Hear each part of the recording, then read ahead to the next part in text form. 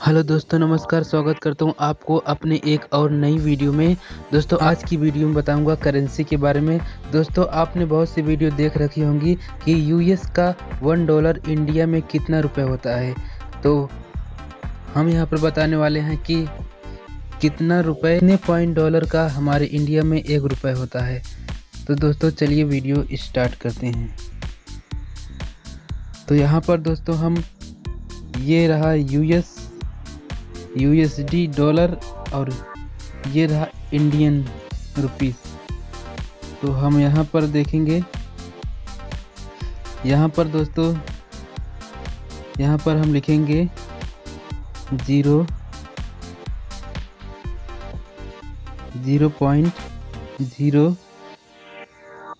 one देखिए दोस्तों, अभी वन लिखा है, यहाँ पर एक भी रुपए नहीं आया हुआ है वन, थ्री और सेवन। तो दोस्तों, यहाँ पर इसका मतलब है हम यूएस में यूएस में zero point zero one three seven लिखेंगे, तब हमारा यहाँ पर एक रुपये आएगा।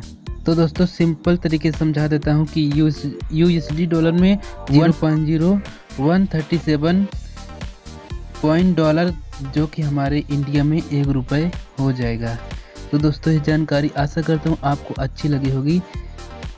वीडियो अच्छी लगी हो तो इस वीडियो को लाइक कर देना और चैनल को सब्सक्राइब करके आगे बढ़ जाइए दोस्तों। धन्यवाद।